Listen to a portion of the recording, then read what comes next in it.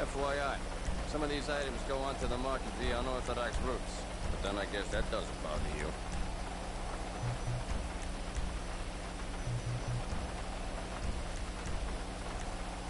Uh-huh. Smart. Yeah, that'll hurt. Got it.